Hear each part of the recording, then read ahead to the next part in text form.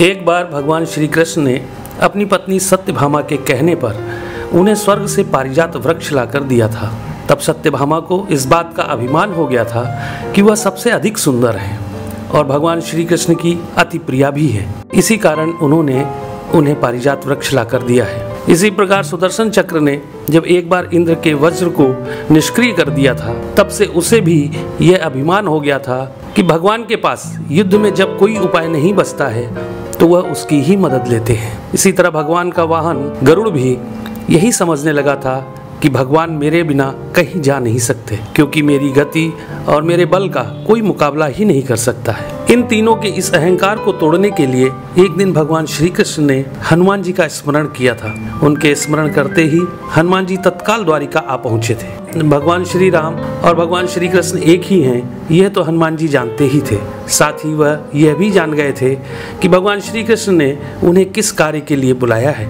इसलिए वह भगवान श्री कृष्ण के दरबार में जाने की जगह द्वारिका के एक बहुत ही सुंदर बागीचे में चले गए थे और वहाँ के वृक्षों में लगे फलों के साथ साथ वृक्षों को भी तोड़ने लगे थे। यह खबर जब भगवान श्री कृष्ण के पास पहुँची कि एक वानर बगीचे को उजाड़ रहा है तो भगवान श्री कृष्ण ने गरुड़ से कहा कि तुम सेना लेकर जाओ और उस वानर को पकड़कर मेरे सामने ले आओ।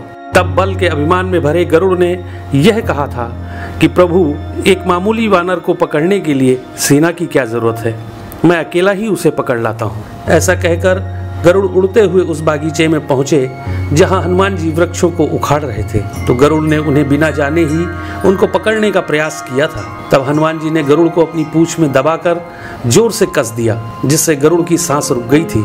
गरुड़ को इस प्रकार कुछ समय तक पीड़ित करने के बाद हनुमान जी ने अपनी पूछ से ही गरुड़ को दूर समुन्द्र में फेंक दिया था। तब गरुड़ बड़ी मुश्किल से खुद को संभाल कर भगवान श्री कृष्ण के दरबार में वापस आकर यह बोले थे कि प्रभु, वह कोई साधारण वानर नहीं है, इसलिए मैं उसे पकड़कर नहीं ला सका। यह सुनकर भगवान श्री कृष्ण ने कहा कि वह अवश्य ही श्री राम जी के भक्त हनुमान होंगे। तुम उनके पास जाकर यह कहना कि श्री राम ने उन्हें बुलाया है, वह अवश्य चले आएँगे। और हो सके तो तुम उन्हें अपने साथ ही लेकर आना। भगवान श्री कृष्ण की आज्ञा पाकर गरुड़ हनुमान जी को ढूंढते हुए वहाँ से बहुत दूर मलय पर्वत पर पहुँच गए थे।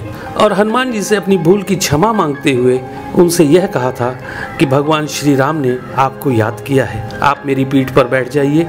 मैं आपको शीघ्रता से उनके पास पहुँचा देता हूँ। हनुमान जी प्रभु की यह लीला भी समझ गए थे। इसलिए उन्होंने गरुड़ से यह कहा था कि तुम चलो, मैं तुम्हारे पीछे ही आता हूँ। इधर द्वारिका में भगवान श्री कृष्ण ने राम का रूप धारण किया और सत्यभामा के साथ सिंहासन पर बैठ गए थे और सुदर्शन चक्र को यह आदेश दिया कि तुम द्वार पर रहो, बिना मेरी आज्ञा के कोई भी अंदर न आने पाए। तभी हनुमान जी द्वार पर पहुँच गए थे तो सुदर्शन ने उन्हें रोकते हुए यह कहा था कि तुम बिना आज्ञा के अंदर नहीं जा सकते हो। तब हनुमान जी ने सुदर्शन चक्र को पकड़कर अपने दांतों में दबा लिया था और अंदर चले गए थे। हनुमान जी ने सिंहासन पर बैठे भगवान श्री राम को प्रणाम करके उनसे यह कहा था कि प्रभु, माँ कहाँ है? आपके पास उनके स्थान पर यह कौन दासी बैठी है? सत्यभामा ने जब यह बात सुनी तो बड़ी ही लज्जित हो गई थी और उनका सारा घमंड चूर हो गया था। तभी थके हुए गरुड़ देव भी हाफते हुए दरबार में आ गए थे। गरुड़ ने वहाँ हनुमान जी को देखा तो वह चकित रह गए थे कि मेरी गति से भी तेज गति से हनुमान जी वहाँ पहुँच गए। इस प्रकार गरुड़ का बल और गति दोनों का अभिमान चूर हो गया था। तभी श्री राम रूपी कृष्ण ने हनुमान जी से यह पूछा कि तुम अंदर कैसे आ गए थे? तुम्हें क्या द्वार पर किसी ने रोका नहीं था?